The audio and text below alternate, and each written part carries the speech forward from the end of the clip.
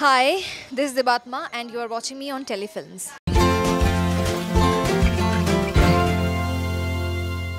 So firstly, congratulations for the Bollywood debut. What would you like to say about the Shehzada?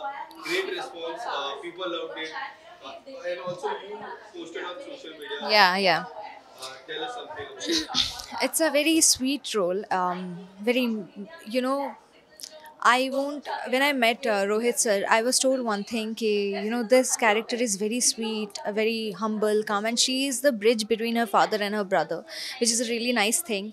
Um, uh, I'm really excited for it because. Um, of course this is my first but apart from that the love that i got from people because um, fortunately i was there in the trailer and i was like thank god and uh, it went ahead like that i'm just hoping that people uh, um, will uh, love the movie and uh, will support me as well. yeah.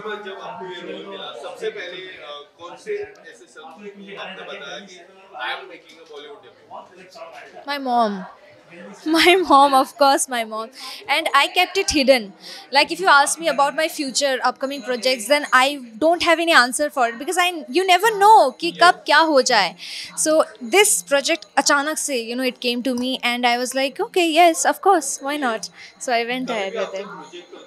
है तो पहले ही record दर्ज कर दे जैसा मिठाई ने अ, मुझे याद है बैंड्रा में सबसे बड़ा जलेबी हाँ। का रिकॉर्ड दर्ज किया था मुझे अभी भी याद है अ, क्या लगता है इस मूवी में आपकी एक्सपेक्टेशन क्या है किस तरह का रिकॉर्ड एक्सपेक्ट कर रहे हो personally if you want me to set a record i don't know about it much but uh, overall i feel that that the movie is going to do amazing uh, because there are amazing actors in it and um, of course they're brilliant in their job so Yeah. Thank you.